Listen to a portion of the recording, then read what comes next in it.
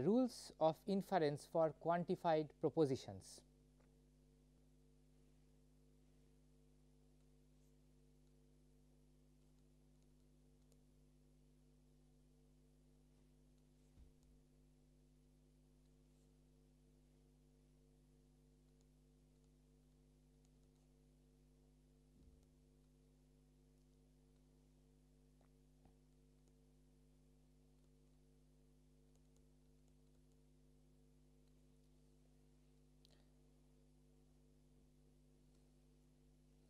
Now, let us discuss uh, briefly whatever we have done in the previous lectures as a recall.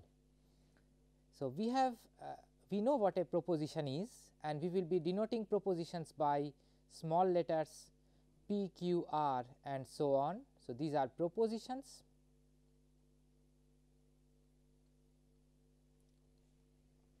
which are essentially uh, statements uh, having a truth value. Now, we also know what are predicates or open propositions. Predicates will be denoted by p x, q x, r x and so on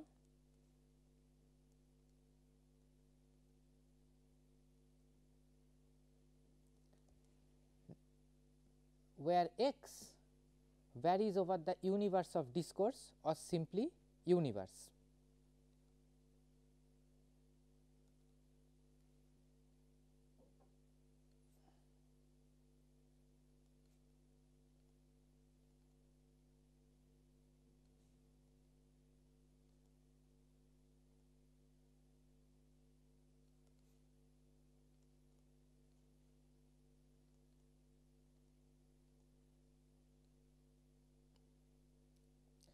We have seen some rules of inferences. So, rules of inference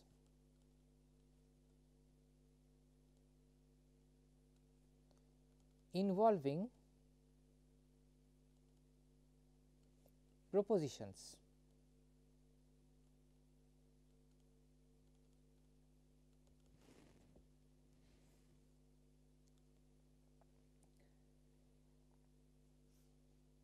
We list some rules and refer to them as fundamental rules. So, fundamental rule 1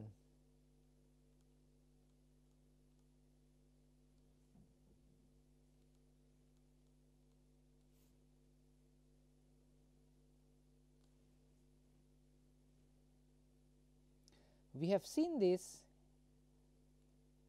under the name of modus ponens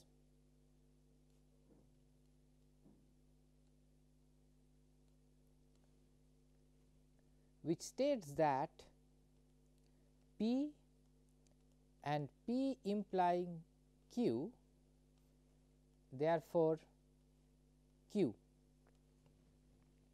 The tautological form of this rule is P and P implies Q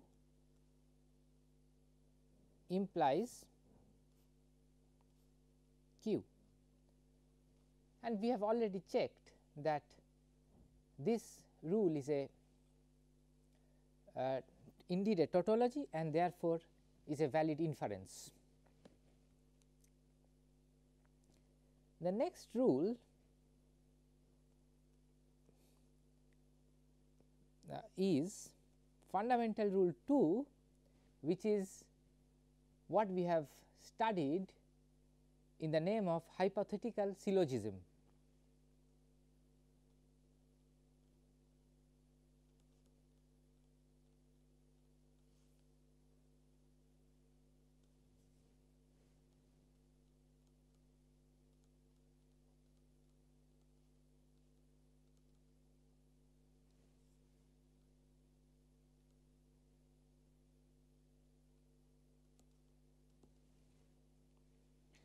This rule states that P implies Q, Q implies R, therefore, P implies R. Or in the tautological form P implies Q and Q implies R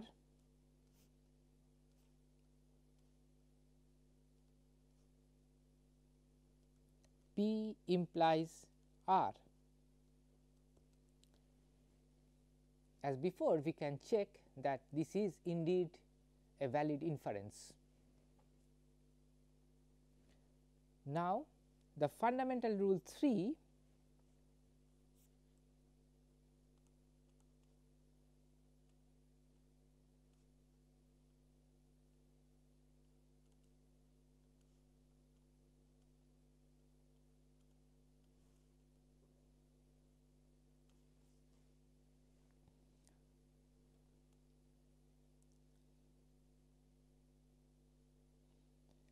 This is known as De Morgan's laws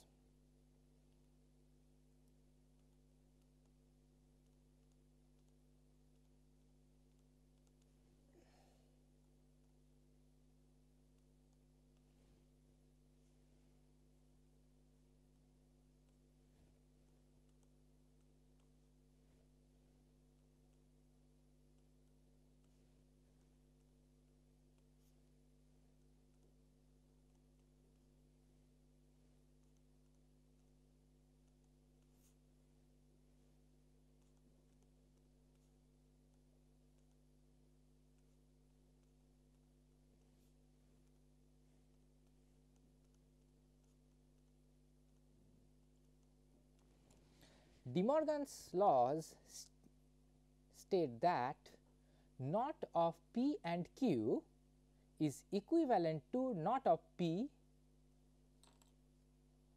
and not of Q and not of P or Q is equivalent to not of P and not of Q.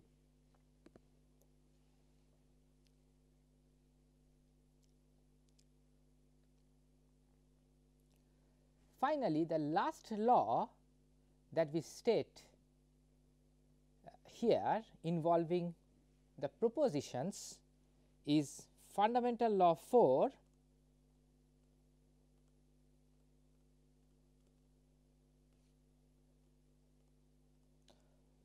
fundamental rule 4 which is the law of contrapositive.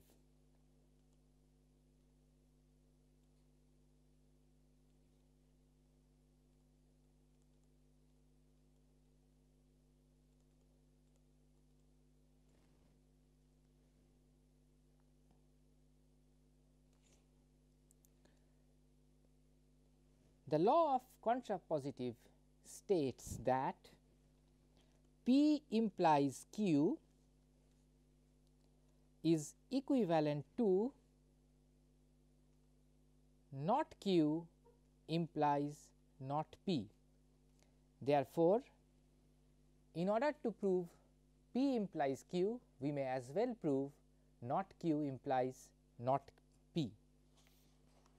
What is seen at this point is that if we move on to the first order logic from the propositional logic, then uh, we will have predicates and quantifiers in particular existence existential and universal quantifiers. In this framework of the first order logic, the rules of inference that we have derived for, pro for propositional logic are not sufficient. Therefore, we need additional rules. In what follows, I will state four additional rules uh, which are used in propositional logic along with the rules of the four additional rules which are used in predicate logic or the first order logic along with the rules that we have derived from the propositional logic. So, we move on to additional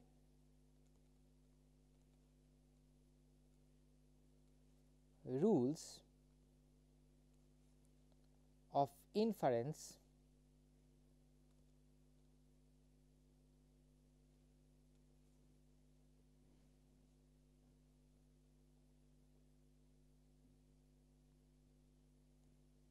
required to prove assertions in involving predicates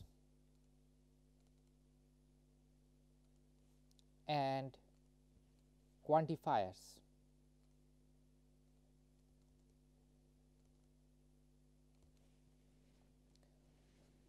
Fundamental rule 5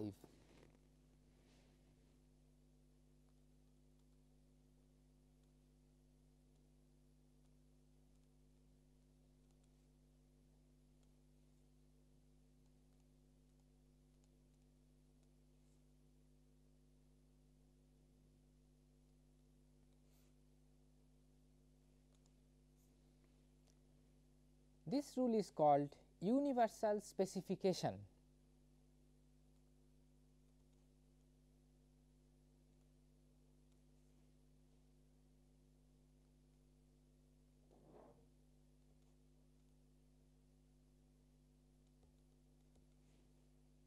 Universal specification states that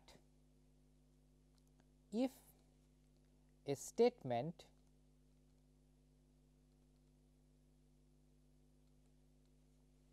for all x p x is assumed to be true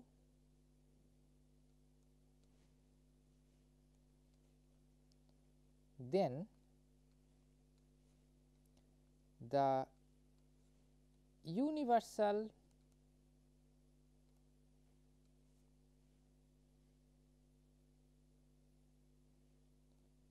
quantifier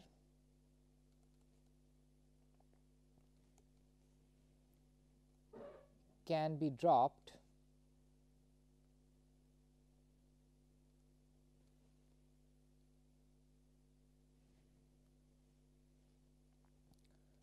to obtain PC is true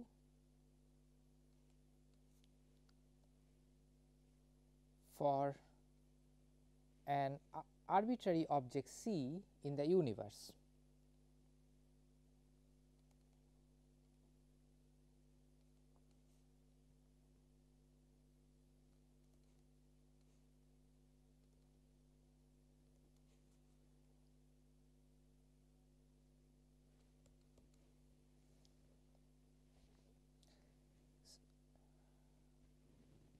Apparently, this rule is simple. It just says that if we have a statement for all x px, where p x is a predicate and if we assume that it is true, then we will be able to uh, uh, given any arbitrary object c in the universe the proposition P c that we get by replacing x by c in the predicate P x is going to be true. In symbols, we can represent this rule as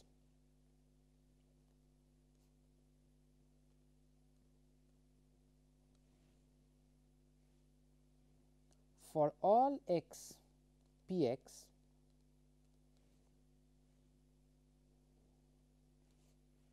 Therefore, P c for all c.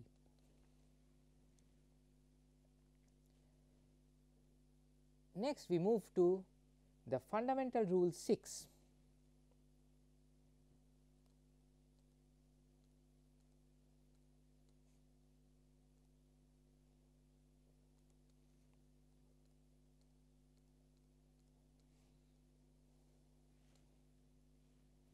This is called universal generalization.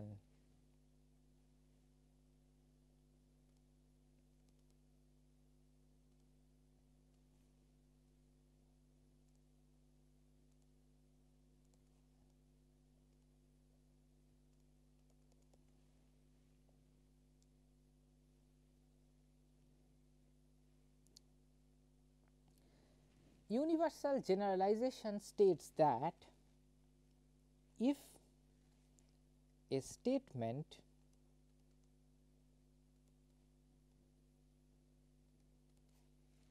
P c is true for each element C in the universe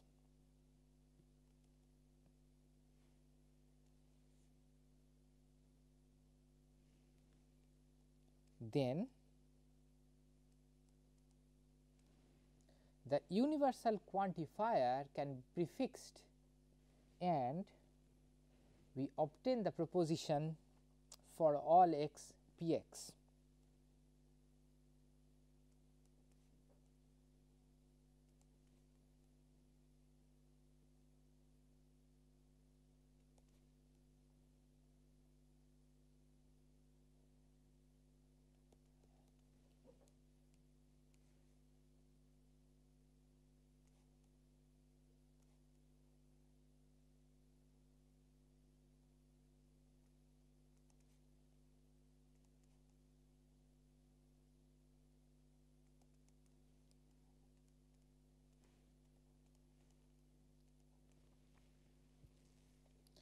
Again in symbols we have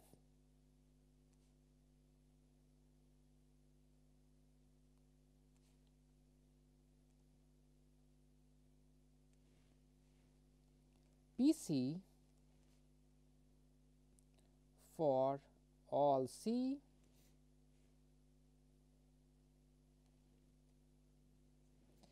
Therefore, for all x P x.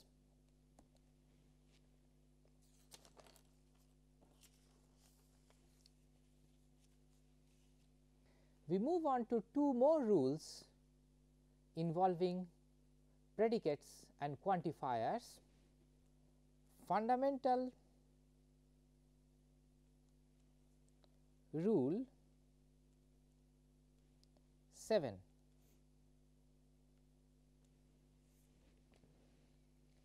This is called existential specification.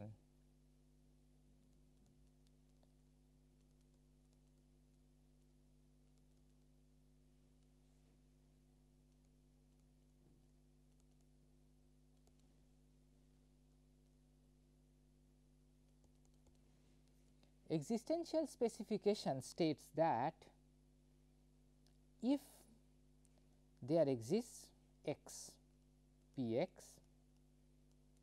is assumed to be true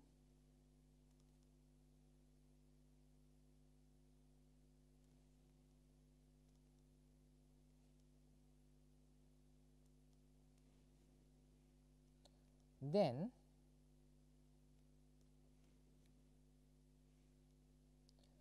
there is an element see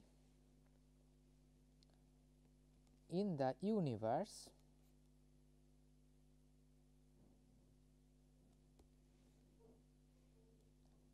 such that P c is true.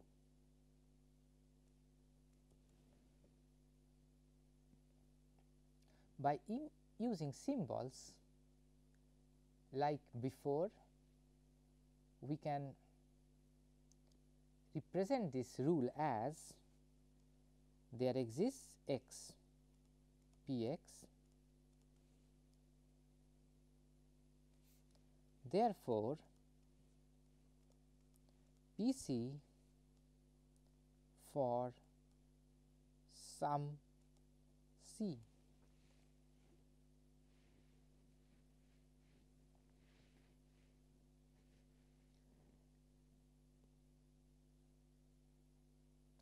Lastly, we look at fundamental rule 8.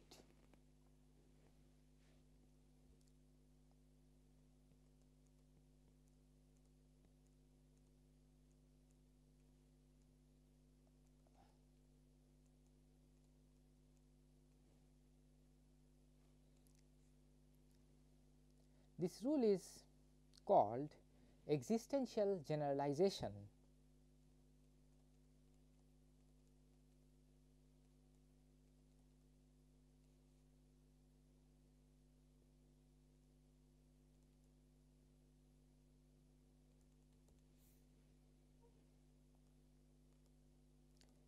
P c is true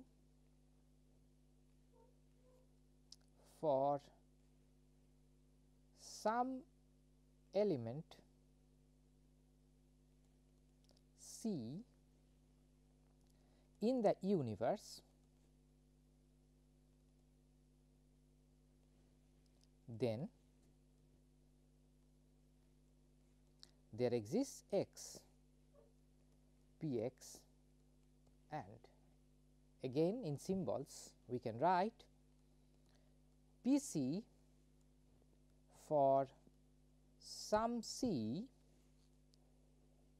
therefore, there exists x p x.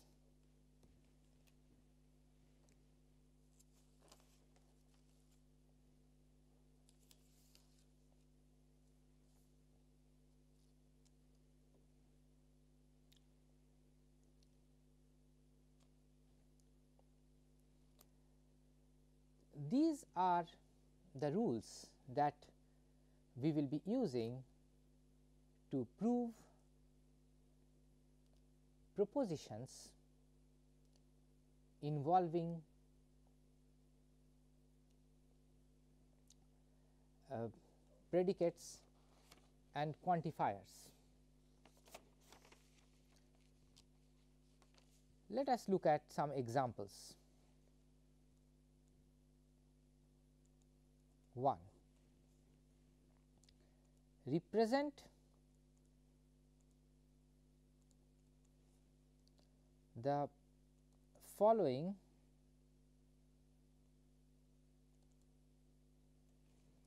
arguments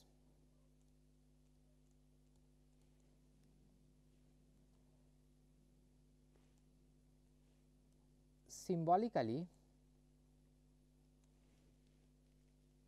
and decide whether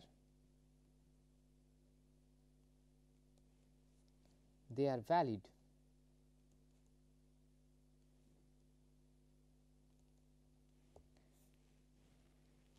The arguments are all men are fallible. So, the all men are fallible.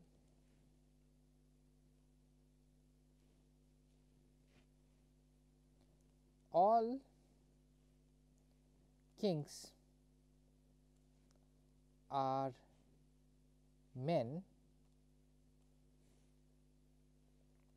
Therefore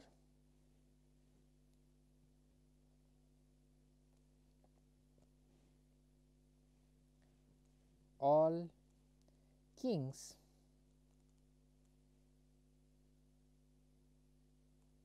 are fallible.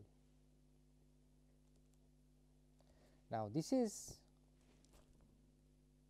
one argument and another argument that we will discuss is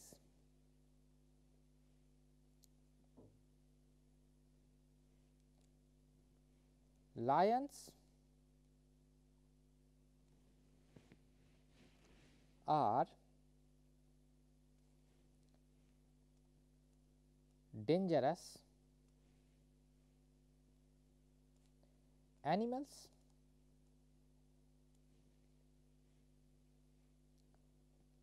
there are lions therefore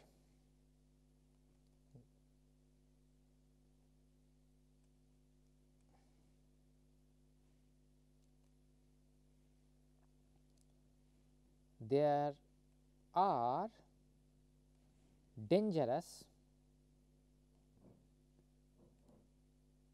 animals. This is another argument. Now, let us look at the first argument. Let m x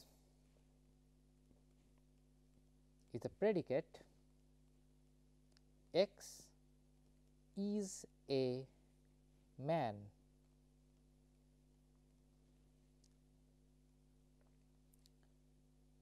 And k x is the predicate. X is a king. And f x is a predicate x is fallible.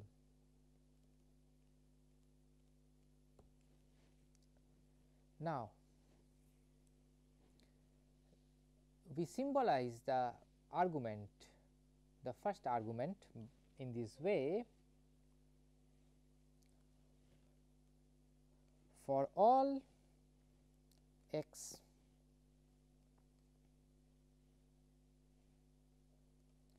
m x implies f x.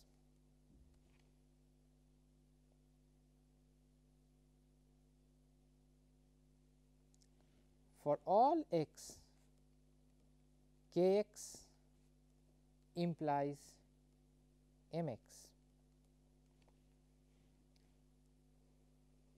Therefore, for all x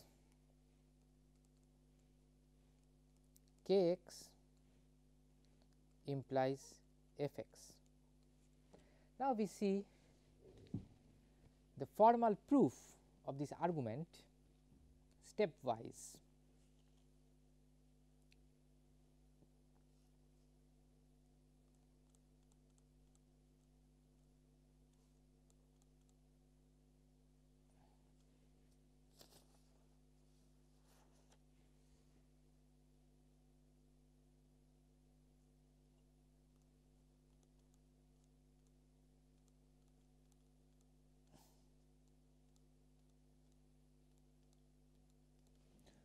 So, we write at each step an assertion and the reason. 1 for all x m x f x. So, this is premise 1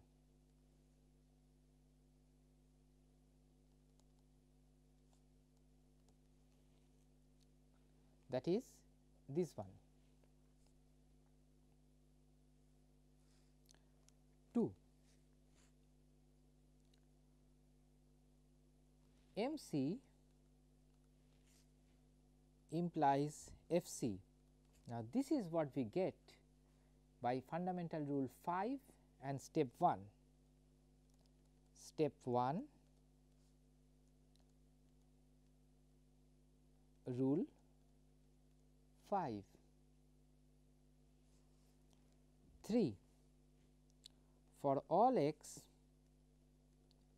k x implies m x.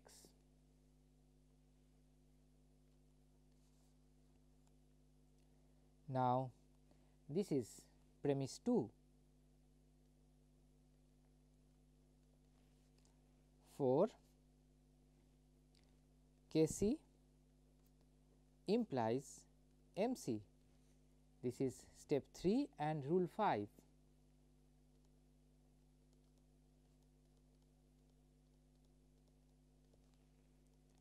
Five. Now, here we see that we can use disjunctive syllogism I am sorry we can use the rule 2 that is hypothetical syllogism uh, on step 2 and step 4. So, by using that we have K c implies F c. This is step 2 and 4 along with rule 2 which is hypothetical syllogism.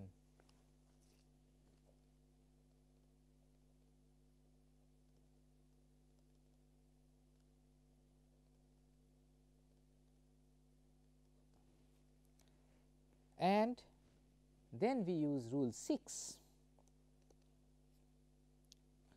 to obtain for all x k x implies f x. Step 5 rule 6.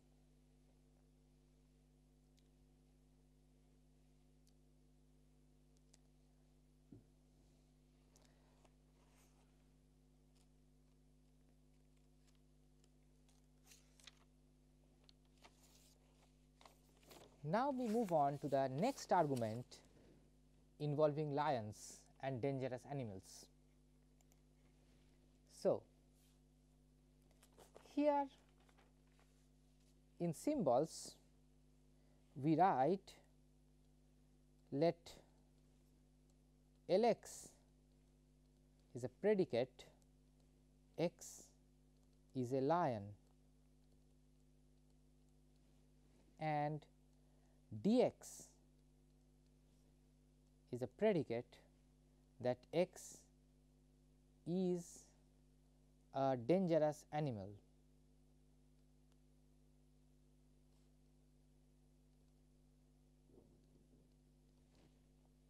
Now, the statements that we have namely lions are dangerous animals when we write by using predicates and universal quantifier.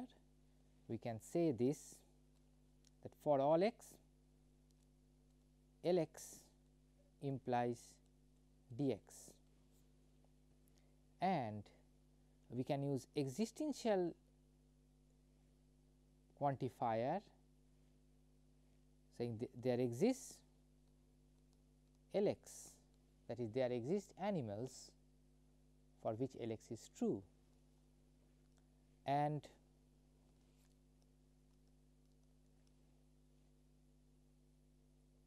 in the consequence therefore, there exists x dx.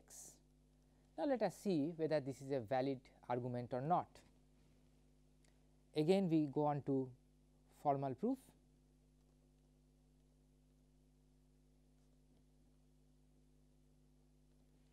assertion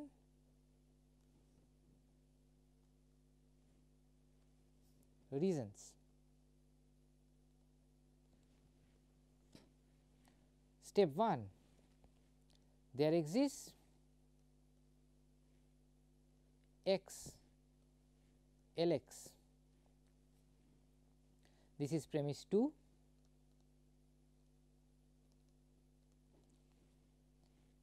and we use rule 7 to write L A.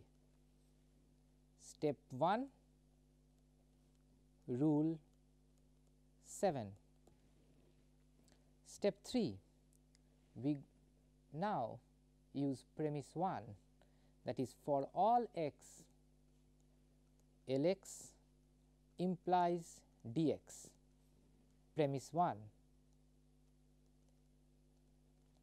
and 4 I use rule 5 to write LA implies DA.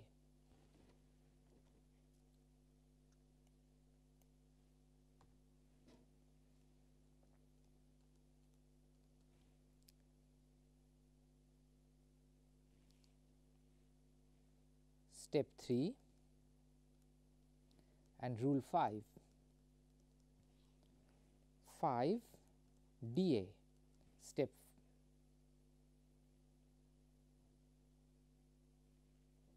step 2 step 2 and 4 rule 1 rule 1 is modus ponens